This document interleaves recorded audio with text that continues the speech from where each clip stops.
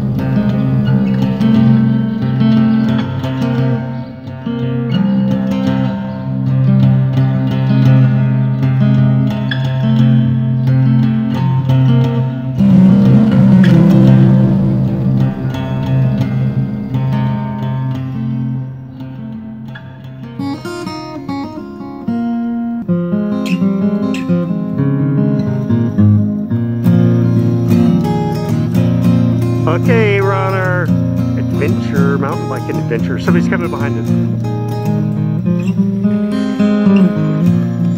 Ooh, scary. we're headed over there. I'm a little lost, but we'll figure it out.